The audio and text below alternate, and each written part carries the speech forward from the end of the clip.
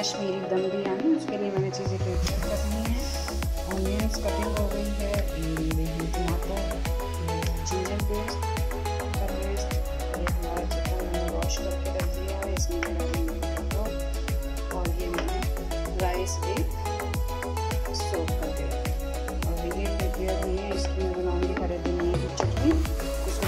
बारीक नहीं करेंगे, वो जैसे बिरयानी दाल के साथ से गद्दा गद्दा मैंने से क्रश कर दें। आप हैंड चॉपर से भी कर सकते हैं, आप ग्राइंडर में भी डाल सकते हैं।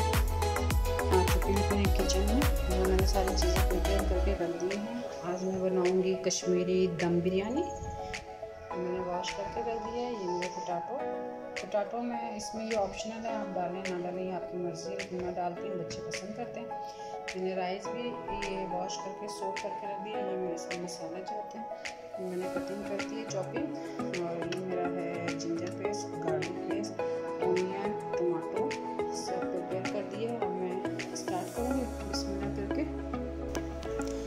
यहाँ पे मैंने ऑनियंस को फ्राई कर लिया था और इसमें से हाफ़ ऑनियंस को मैंने अलग से निकाल लिया है, जो थोड़ी सी है, इसको मैं यही मसाले में भूनूँगी।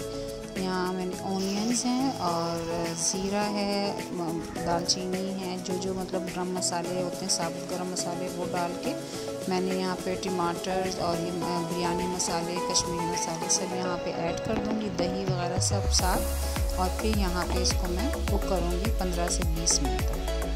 फिर यहाँ साथ ही मैंने आलू और चिकन को दोनों को मैंने साथ डाल दिया था क्योंकि ज़्यादा इसको नहीं पकाना, सिर्फ़ हाफ़ कुक करना है। बाकी ये दम में मतलब खुद प्रिपेयर होगी। तो यहाँ सब ये रेडी हो चुका है। ये ऊपर से जो मैंने हाफ़ ऑनियंस निकाल ली थी तो वो मैंने ऐड किए यहाँ पे और थोड़ी सी मैं जब बॉयल राइस करने के बाद ऊपर लेयर लगाऊँगी तो उसके ऊपर दूसरी साइड पे हम राइस हमारे ये बॉयल होंगे। यहाँ पे भी मैंने सॉल्ट ज़ीरा और इलायची स्टारिन्स और ये जो मतलब बॉईल करने में मैंने डालने थे, वो मसाले डाल दिए। यहाँ पे दो से तीन मिनट से राइस बॉईल करूँगी, क्योंकि मैंने दो घंटे पहले पानी में मैंने सोख करके रखे थे।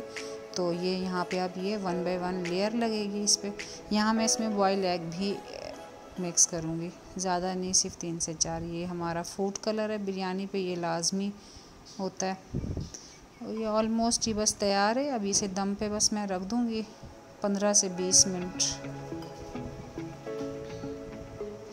ये फ्राई ऑनियंस जो मैंने थोड़ी सी बचा के रखी थी। डबिंग का बीच में इशू हुआ था क्योंकि बीच में गेस्ट आ गए थे घर में तो मैं साथ साथ नहीं डबिंग कर सकी। फिर इसमें मैं बाद में वॉइस ओवर मैंने करी है थोड़ी सी जहाँ जहाँ मुझे लगा कि मैं ये बताना चाहिए ये हरी मिर्ची, हरा धनिया, ये सब मैंने इस पर डाल दी। ये अब एग बॉयल इसके ऊपर मैंने डाले ऊपर से ऐड करें इसमें और अब मैं अपने बेबी को भी देखूँगी, इसके खाने का टाइम है रब के।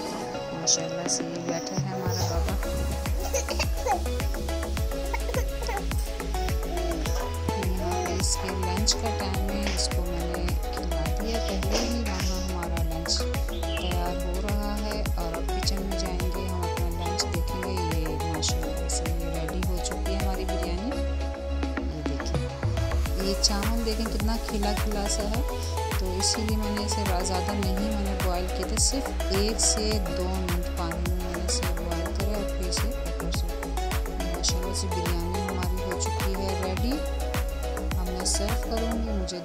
इजाज़त इन नेक्स्ट वीडियो में मिलेंगे। अल्लाह हाफिज़।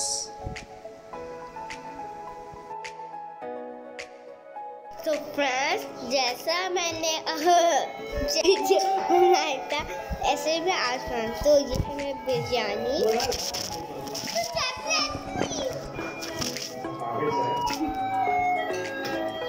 पारिस है?